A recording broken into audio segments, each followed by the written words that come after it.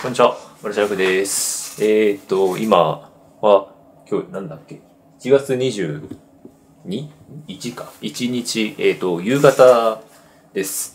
いや、今回こそは、今2日連続で朝6時半にあの Vlog をアップするっていうのを、あの、2回ほどもうスキップしちゃってて、あの、昼前とかに上げちゃってるんで、今回こそはね、上げたいとは思いますが、えーっと、まず、えー今日、えー明日からか。明日から1週間ほど東京行くので、えーパッキング作業します。で、今回ね、結構長いんですよ、期間が。結構長いのと、あとそのもう、あの、同じホステルにずっと泊まり続けて、拠点も確定しているので、荷物も、なんかそこのホステルに置きっぱにできるような感じになるから、あの、身軽に、えー途中写真とかも撮り行けるようにカメラバッグも、えー持ってこうかなと思うんですけど、今回はカメラはこの2つでいこうかなと思います。はい。1つはまあいつも通り M11 モノクロームです。はい。で、もう1個、こちらです。はい。7CR を持っていきたいと思います。カラーを撮るようです。はい。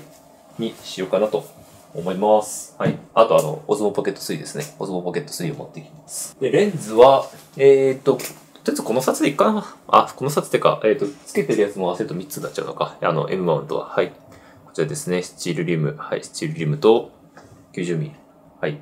を持っていこうかなと思います。で、7CR につけられるように、一応、はい。こちらのマウントアダプターを持っていきたいと思います。まあ、これ、えっ、と、電子接点のやつなんですけれども、あの個人的に、電子接点じゃなくてもよかったんじゃないかというふうに、最近ちょっと思い始めております。まあ、アルファ7系か。アルファ7系につけるのはいいんですけれど、これね、ZV-E1 とかには対応してないんですよね。これは公式ホームページにもともと書いてあったので、多分ダメなんじゃないかなっていうふうには思ってたんですけども、まあ、実際つけてみると案の定ダメで、なんて言えばいいんですかね。ZV-E1 につけますよね。つけて、やると、なんかこう、写真とか、えー、動画撮るときに不具合が起きるというか、例えば動画だったらレックボタンを押しても、あの、回らないとか。で、写真だったら、えっ、と、撮れはするのかな？と、撮るけど、なんかうまいこと保存されないみたいな、えー感じの挙動が出ます。で、一応、あの、なんて言えばいいんですかね。回避方法が実はあって、電源をオンにしてる状態で ZV-1 とかにつけて、そう、やると、なんか、うまいこと動き出すんですよね。動画とかも、え、なんかできるみたいな。だから、電源がオフになってる状態でつけると、えっ、と、うまく動作しないっていうような感じになって、電源がオンの状態でつけると、なんかうまくいくという。多分なんか電子接点の、あの、挙動かな？が多分おかしくて、うまいことできないんで、まあ、正直多分普通に焦点工房とかのマウントアダプターとかでいいんじゃないかなっていうふうに思うんですよね。なんか、あの、わざわざ、僕が電子接点にしたかった理由は単純にあの、α7CR で撮るときに、これ何ミリで撮ったんだろうっていうのをただ記録するっていう、ただそれだけで、あんまり意味はないんですよね。正直それ以上の。まあ一応、電子接点があると、あの、手ぶれが効くっていうような、なんかことがあるらしいんですけど、まあそれぐらいなんで、まあ正直、あの、電子接点なし、電子接点なしのやつで、格安のアダプターだと多分、5000円とか6000円で買えるはずなので、まあ、これ、僕はあの、マップカメラのポイントが余ってたから、あの、ゲットできましたけど、多分これ、素で買ったら1万円超えるから、結構お高いんですよね。で、お高い割に汎用性低いので、まあ正直、まああと汎用性も低いし、まあなんか陸上情報に何ミリで撮りましたっていうのが乗っかるぐらい。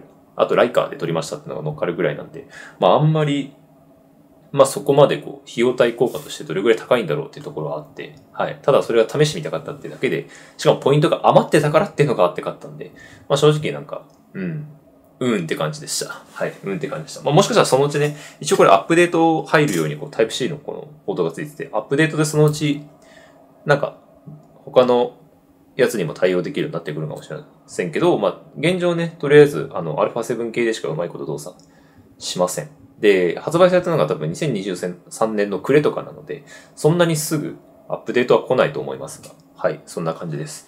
っていう装備で、えー今回、とりあえず東京に行こうかなと思います。じゃあ、とりあえずあの、荷造りもそうなんですけれども、あと微妙に仕事がまだ終わってないんで、えーパッキングしつつ、えーその前にサウナ行ってきます。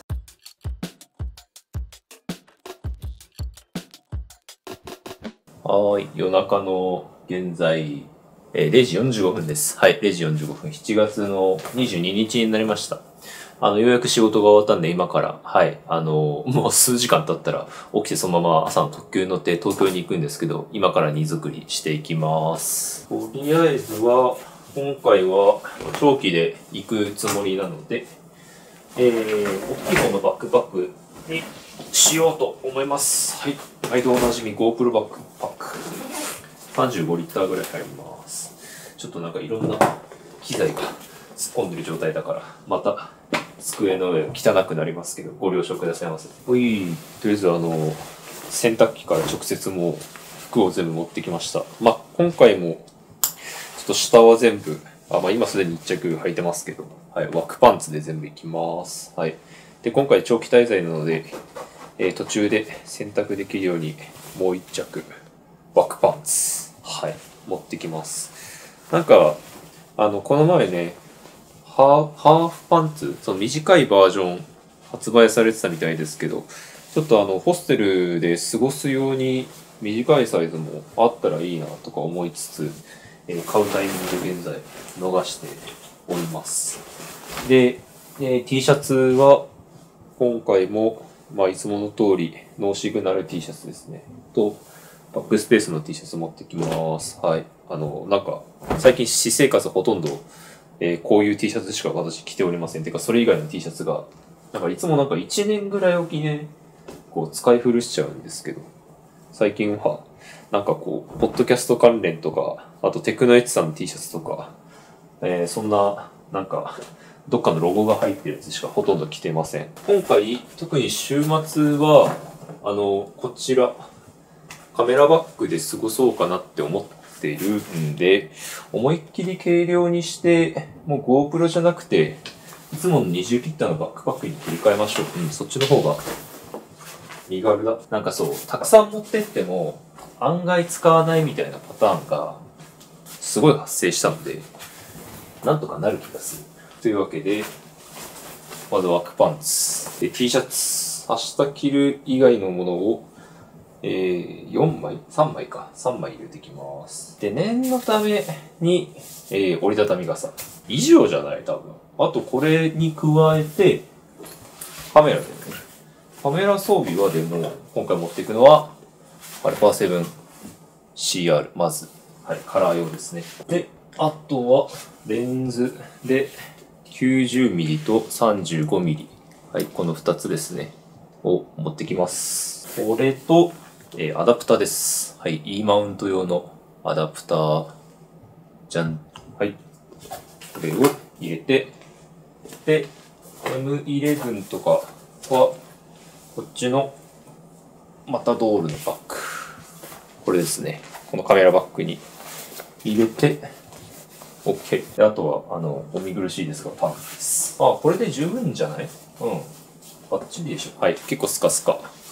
ちょっと、ライティングがめちゃくちゃですけど、結構スカスカです。まあ、あと、ノート PC 入るんですけど、MacBook 入るけど、えー基本的なカメラ装備を全部こっちに、はい、入れているので、まあ、問題ないかな。多分問題ないです。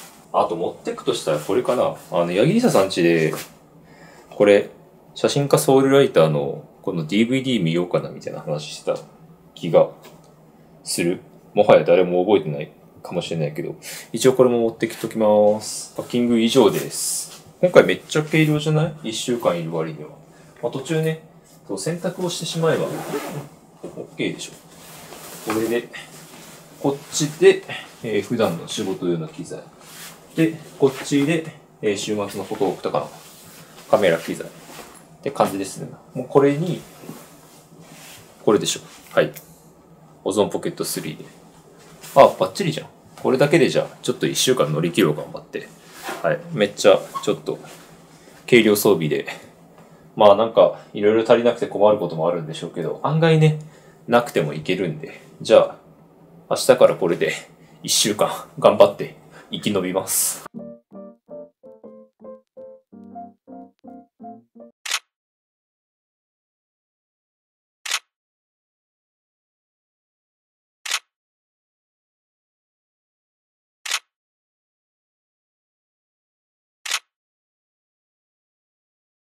Yeah, I start to clap.